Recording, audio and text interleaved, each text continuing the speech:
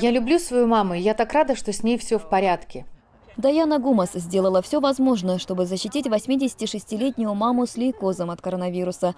По совету врачей она перевезла ее из Флориды в Мэриленд, в штат, где люди строже соблюдают масочный режим.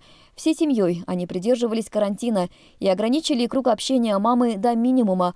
Но в январе этого года они узнали, что у сестры Даяны положительный результат теста. Через день и у мамы был подтвержден коронавирус. Я им уже говорила, что делать в случае, если я не выживу. Да, это так. Это ужасно, но ты думала, что не сможешь победить болезнь. Но, к счастью, у тебя все прошло в легкой форме. Да, это так. Это настоящее чудо. Чудом они называют лечение препаратом бамланивимаб с моноклональными антителами к коронавирусу и коктейлем из антител Regeneron, в состав которого входят кассиривимаб и имдевимаб. Всего пару месяцев до того, как Барбара заболела, в США было выдано экстренное разрешение на применение этих препаратов для людей старше 12 лет. Обязательные условия – положительный результат теста на коронавирус, легкое или умеренное течение COVID-19 на момент терапии и наличие хронических заболеваний, при которых увеличивается риск развития тяжелой формы болезни. Я знала, что бывший президент получил этот коктейль из антител, когда у него был COVID-19. 12, но я не знала, что лекарство доступно и обычным людям. Мои коллеги-медики подсказали мне, как подать заявление онлайн. В течение двух дней моя мама получила разрешение, и ей ввели препарат. Чем раньше начать лечение антителами, тем лучший результат. Желательно на второй день после появления первых симптомов. Самый поздний срок – на десятый день болезни.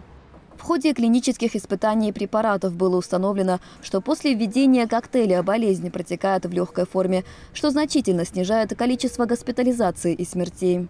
Барбара поправилась в течение 10 дней после этого курса лечения. Утомляемость, потеря обоняния и вкуса были у нее единственными симптомами. Самым страшным в течение болезни стала для нее изоляция. Помню, я открыла дверь моей квартиры, и там была большая табличка с надписью «Карантин. Никто не должен заходить сюда без защитной одежды». Сейчас коктейль из антител можно получить бесплатно. Один из самых крупных инфузионных центров в штате Мэриленд находится в Балтиморе. Он был открыт благодаря усилиям медицинского центра Джонса Хопкинса и медицинского факультета Мэрилендского университета. В здании конференц-центра в Балтиморе на подземном этаже развернули Центр инфузионной терапии для больных COVID-19.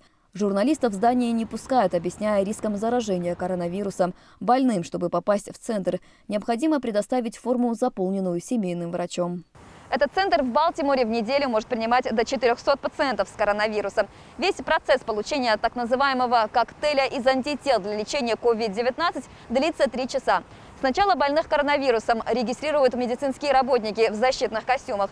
После в течение одного часа они получают внутривенную инфузию. Затем еще один час они находятся под наблюдением врачей. Если что-то пойдет не так и у больного случится приступ аллергии, у здания дежурят машины скорой помощи.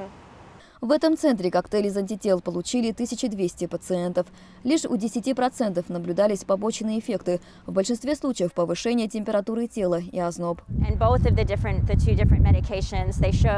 Оба эти препарата продемонстрировали положительный результат. В ходе клинических испытаний за пациентами, получившими препарат, наблюдали в течение 29 дней и сравнивали их с группой плацебо.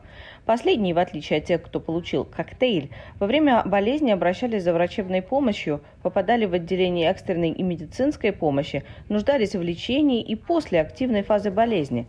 С тех пор, как препараты стали широкодоступными, новых исследований не проводили. Нам поступает информация от семейных врачей, которые направляют к нам пациентов и наблюдают потом за ними. И они замечают разницу между теми, кто согласился на применение препарата, и теми, кто отказался. У пациентов с лейкозом иммунодефицит, и их организм не способен вырабатывать самостоятельно антитела. Но они лишь одна из тех групп людей, которым помогло это лечение. Хронические заболевания, сердечно-сосудистые заболевания и болезнь легких у людей старше 55 лет, гипертония, диабет и ожирение в любом возрасте у людей со всеми этими заболеваниями высокий риск развития тяжелой формы COVID-19. В первую очередь доступ к этому лечению получат они. Пока лечение коктейля мезантител – область мало изученная. Но если еще несколько недель назад Американское общество по инфекционным болезням выпустило рекомендацию, согласно которой пациенты должны быть информированы о неопределенных преимуществах и побочных эффектах, то сегодня врачи-инфекционисты говорят об эффективности метода с большей уверенностью. Есть свидетельство того, что коктейль из антител предотвращает развитие более тяжелой формы COVID-19 и госпитализацию. Основываясь на этих данных, у меня больше уверенности в пользе этого метода лечения. Вакцинироваться можно только через 90 дней после введения препарата.